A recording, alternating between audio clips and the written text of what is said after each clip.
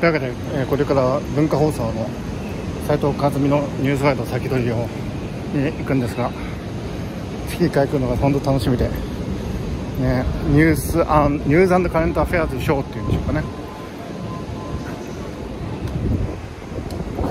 すごい。なんかね今日は雨降ってね意外となんかみんな傘ささないでいるのはなんか気持ちいいからじゃないかなと。でこれあの世界貿易センタービルっていうやつなんですけど今改装中で。あそこに、えー東京タワーが見えます。これからそこの文化放送の中にね行ってきます。斉藤和美ニュースサイド先取り。15時30分から聞いてね。エレベーターの音がって生放送が聞こえてくるんだよね。小竹誠さん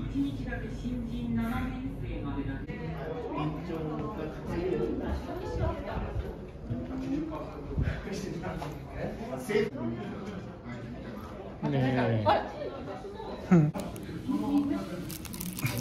バカウケ大学院も味そう。いう。場合ってさ逆に言ってくれた方が気が楽じゃないそう。です入れてねくれてはい、よろしくお願いします。いかがでしょうか？よろしくお願いいたします。街の声をお伝えします。総裁選挙にどのような影響を与えるのでしょうか？この方に聞きましょう選挙コンサルタントで政治アナリスト大浜崎拓馬さんとお電話がつながってます大浜崎さんよろしくお願いしますはい、よろしくお願いしこんにちます。は。お願い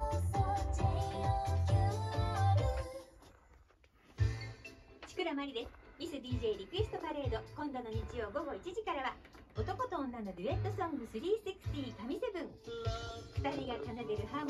ニー、は DJ アットマーク JOQR.net まで。ここに電話で通達なんてことをしているから3日前の検査結果しか発表できないし検査数も伸びないんですよ、アンチデジタル化モンスターの。それの2時間で私も見せたから余計そう思う中本町駅前交これが差点普通なんだ。よから中継しています。神奈川県内は246下りのあ8あや内の今日放送交差点で1キロ渋滞しています。らしいです。けど。首都高速道路3号線下りは渋谷から三軒茶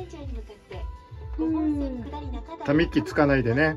はい。そうですよ。寿命が縮まるよため息つくと え健康的にはいいんじゃない。大木さんの今のタイム？政府関係者のあれ吉田先生まだ出てないね今日はね金銭トラブルの批判があるゴムロケとの縁談を考慮し宮内庁は公開組織の関連儀式を執り行わ子どものコロナ感染に気づくため親ができるチェックポイントというテーマでお話しいただきます。大事ですね大事ですアメリカ軍の撤退完了を受けてホワイトハウスで演説し撤退はアメリカにとって正しく賢明で最善の選択だと信じていると述べ軍事作戦を行ういらないかもだけど。あれ？行ってない？ああ、はい、あ今来ました。はい。今あ、はい、はい。えー、こちらの音声いかがでしょう？はい、はい、はい、よく聞こえております。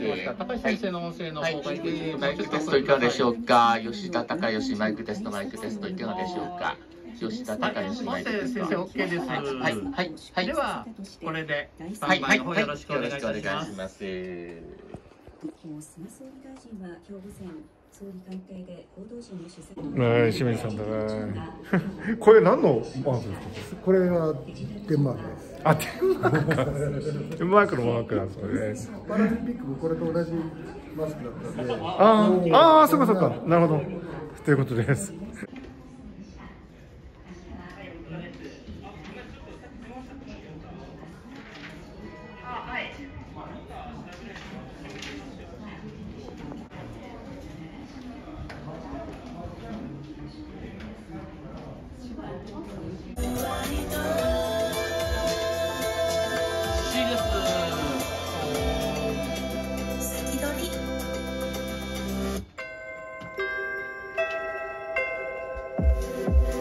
時刻5時13分です。弁護士法人法律事務所ホームワンがお送りする文化放送交通情報です。千葉の望月さんからお願いします。はい。東京2020大会の開催に伴う交通対策のため西行きの千鳥町の入り口など多くの入り口が利用できなくなっています。このほか一般道路の渋滞状況ですが国道305 9キロ東北道上りは浦和で3キロ。その他3号線は下りの三軒茶屋出口の故障車移動していますがまだ高木町から渋滞が残りました。風が少しひんやりしましたねこの時間の関東。というわけで文化放送終わりました。今日も本当にありがとうございました。いや本当にスタッフの皆さんいつもいつも素晴らしいお仕事ぶりで僕も勉強になります。僕も頑張ります。文化放送斉藤和のニュースファイル先取りよろしく。